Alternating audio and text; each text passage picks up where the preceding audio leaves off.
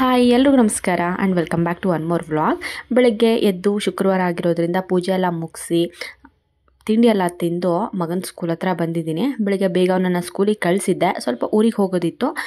ಬಸ್ಸಲ್ಲಿ ಹೋಗೋದ್ರಿಂದ ಪರ್ಮಿಷನ್ ತೊಗೊಂಡು ಕರ್ಕೊಂಡು ಹೋಗೋಕ್ಕೆ ಬಂದಿದ್ದೀನಿ. ಈಗ ಮಗನ್ನ ಕರ್ಕೊಂಡು ಬಂದಾಯಿತು.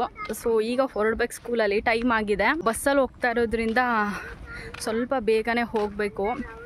ಸೊ ಪಾಪು ಬರೋದು ಲೇಟ್ ಆಗುತ್ತೆ ಅಂತ ಹೇಳಿ ತಂಗಿ ಬಂದಿದ್ಲಲ್ವಾ ಸೊ ಒಟ್ಟಿಗೆ ಬಂದು ಕರ್ಕೊಂಡು ಹೋಗ್ತಾ ಇದ್ದೀವಿ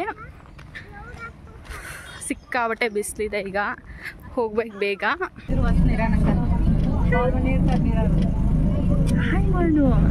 ಬಸ್ ಪ್ರಾಬ್ಲಮ್ ಆಗಿ ಹೊರಟಿದ್ದು ತುಂಬಾ ಲೇಟ್ ಆಗಿತ್ತು. ಹಾಗಾಗಿ ರೀಚ್ ಆಗೋ ತನಕ ತುಂಬಾ ಲೇಟ್ ಆಯಿತು.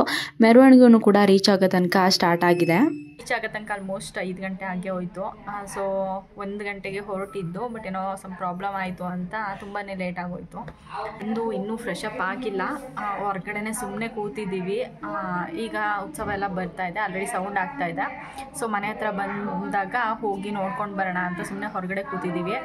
ಅಮ್ಮ, ಪಾಪು ಎಲ್ಲರೂ ಒಳಗಡೆ ಹೋಗಿದ್ದಾರೆ, ಸ್ವಲ್ಪ ಫ್ರೆಶ್ ಅಪ್ ಆಗೋಣ ಅಂತ. ನಾನು ನನ್ನ ತಂಗಿ ಹೀಗೆ ಮಾತಾಡ್ತಾ ಕೂತಿದ್ದೀವಿ. ಒಂಬತ್ತು ದಿನ ಆದಮೇಲೆ ಏನೋ ಪೂಜೆ ಮತ್ತು ದೇವಸ್ಥಾನ ಓಪನಿಂಗ್ ಎಲ್ಲ ಇಟ್ಟಿದ್ದಾರಂತೆ ತಾತನ ಮನೇಲಿ ಸೋಮೇಶ್ವರ ದೇವಸ್ಥಾನದ ಉದ್ಘಾಟನೆ ಇತ್ತು. ಸೊ ತುಂಬಾ ಗ್ರ್ಯಾಂಡಾಗಿ ಇಟ್ಕೊಂಡಿದ್ರು. ಪ್ರತಿಯೊಂದು ಮನೆಯೂ ಕೂಡ ರಿಲೇಟಿವ್ಸ್ಗಳನ್ನೆಲ್ಲ ಕರೆದು ಊಟ ಆಗಿರ್ಬೋದು, ಪೂಜೆಗಳಾಗಿರ್ಬೋದು ತುಂಬಾ ಇತ್ತು.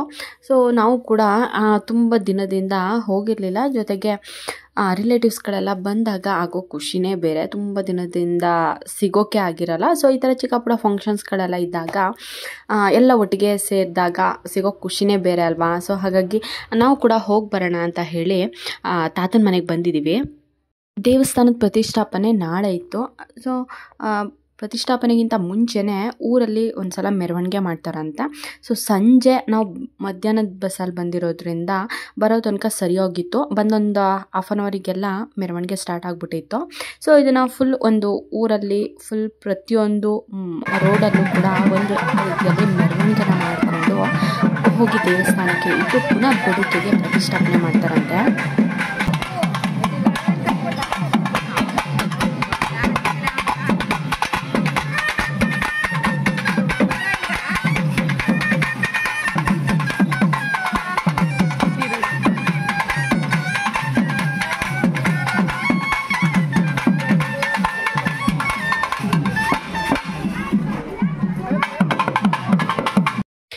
ಇತ್ತೀಚಿನ ದಿನಗಳಲ್ಲೆಲ್ಲ ವೀರ್ಗಾಸೆ ತುಂಬಾ ಕಡಿಮೆ ಆಗಿಬಿಟ್ಟಿದೆ.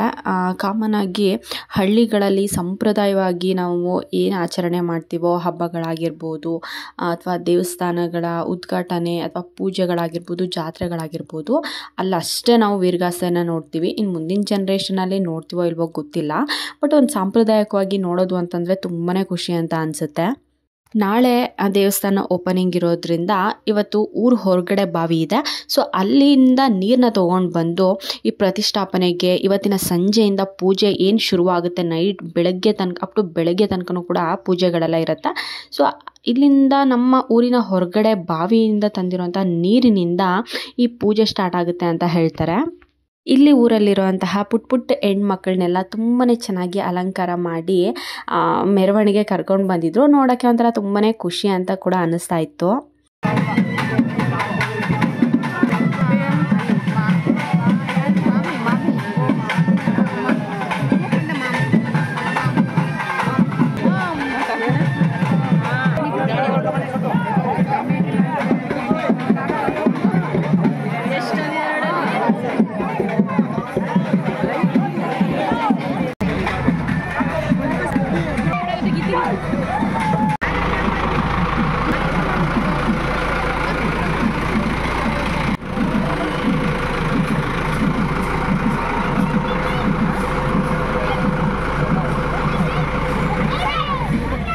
ಈಗ ಟೈಮು ಆಲ್ಮೋಸ್ಟು ಸೆವೆನ್ ತರ್ಟಿ ಆಗ್ತಾ ಬಂತು.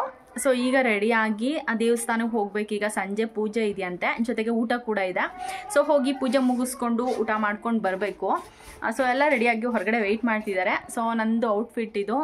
ಸೊ ಆನ್ಲೈನಲ್ಲಿ ತರಿಸ್ಕೊಂಡಿದ್ದು ಸೊ ಹಾಕಿರಲಿಲ್ಲ, ಹಾಕೋಣ ಅಂತ ಹೇಳಿ ಹಾಕ್ಕೊಂಡಿದ್ದೀನಿ ಜೊತೆಗೆ ತಂಗಿ ರೆಡಿ ಆಗಿಲ್ಲ. ಸೊ ಅವಳು ರೆಡಿ ಆಗೋ ತನಕ ವೆಯ್ಟ್ ಮಾಡಿ ಈಗ ಹೊರಡಬೇಕು. ಸೊ ಇದ್ರ ಜೊತೆಗೆ ಇನ್ನೊಂದು ಸ್ಪೆಷಲ್ ಏನು ಅಂತಂದರೆ ಪ್ರತಿ ವರ್ಷನೂ ಮನೆಯಲ್ಲಿ ಕುಂತಿ ಪೂಜೆ ಮಾಡ್ತೀವಿ. ಕುಂತಿ ಕೂರಿಸಿ ಹಾಗಾಗಿ ಪೂಜೆ ಕೂಡ ರೆಡಿ ಮಾಡಿದ್ದಾರೆ.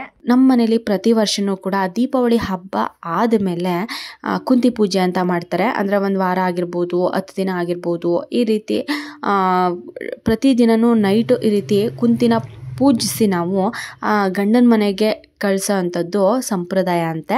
ಪ್ರತಿ ವರ್ಷವೂ ಕೂಡ ಮಾಡ್ತಾರೆ. ಬಟ್ ನಾವು ಚಿಕ್ಕವರಿದ್ದಾಗಿಂದನೂ ನೋಡ್ಕೊಂಡು ಬಂದಿದ್ವಿ. ಬಟ್ ಸ್ವಲ್ಪ ವರ್ಷ ಇದನ್ನು ನಾನು ಬಂದಿರಲಿಲ್ಲ ಈ ಟೈಮಲ್ಲೆಲ್ಲ. ಸೊ, ಈ ವರ್ಷ ನನಗೆ ಅಂಥ ಅವಕಾಶ ಸಿಕ್ತು. ಹಾಗಾಗಿ ನಿಮ್ಮ ಜೊತೆನೂ ಕೂಡ ಇದನ್ನು ಶೇರ್ ಮಾಡ್ಕೊಳಂಗಾಗತ್ತೆ ಅಂತ ಆ ವಿಡಿಯೋ ಮಾಡ್ಕೊಂಡಿದ್ದೀನಿ. ಇದನ್ನು ನಮ್ಮ ಚಿಕ್ಕ ಅಜ್ಜಿ ಮಾಡ್ತಾರೆ ಇದನ್ನು. ಡೈಲಿ ರಂಗೋಲಿ ಎಲ್ಲ ಹಾಕಿ ದೀಪ ಹಚ್ಚಿ ಪೂಜೆ ಮಾಡ್ತಾರೆ. ಅಕ್ಕಪಕ್ಕದ ಮನೆಯವರೆಲ್ಲ ಆ ಪೂಜೆನೂ ಕೂಡ ತಂದು ಪೂಜೆನೂ ಕೂಡ ಮಾಡಿಸ್ಕೊಂಡು ಹೋಗ್ತಾರೆ. ಇದ್ರ ಜೊತೆಗೆ ಕುಂತಿಯ ಬಗ್ಗೆ ಸಾಂಗ್ಗಳನ್ನು ಕೂಡ ಹೇಳ್ತಾರೆ.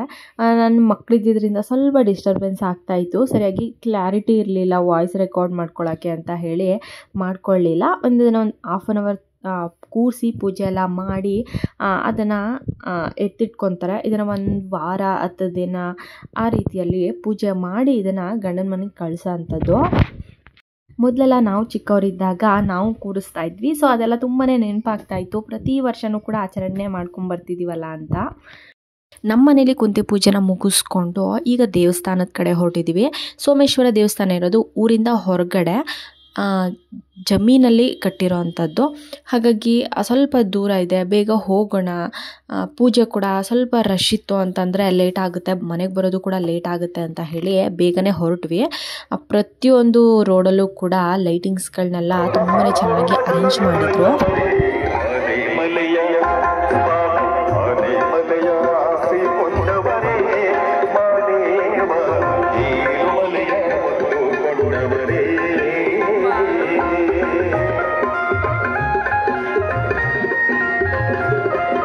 ದೇವಸ್ಥಾನದ ಹತ್ರನೇ ಊಟದ ವ್ಯವಸ್ಥೆ ಕೂಡ ಮಾಡಿದ್ರು.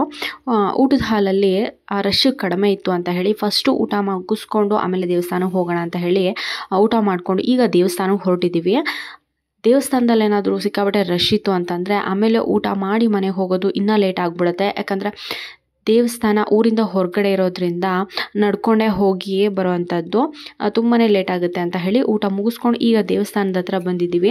ಲೈಟ್ ಅರೇಂಜ್ಮೆಂಟ್ಸ್ ಆಗಿರ್ಬೋದು, ಅಲ್ಲಿ ಪೂಜೆಗಳಾಗಿರ್ಬೋದು ನಡೀತಾನೇ ಇತ್ತು.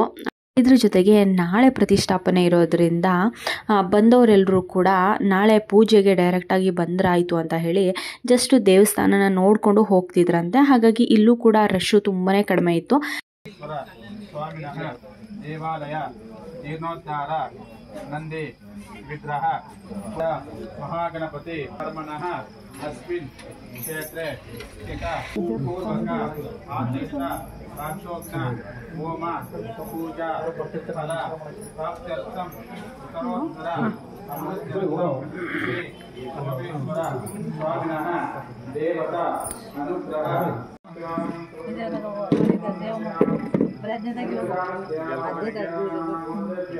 देंगे ದೇವಸ್ಥಾನಕ್ಕೆ ಕೈ ಮುಗಿದು ಮನೆಗೆ ಹೊರಡಬೇಕಾದ್ರೆ ಊರು ಒಳಗಡೆನೆ ನಮ್ಮದು ಹಳೆ ಮನೆ ಇತ್ತು.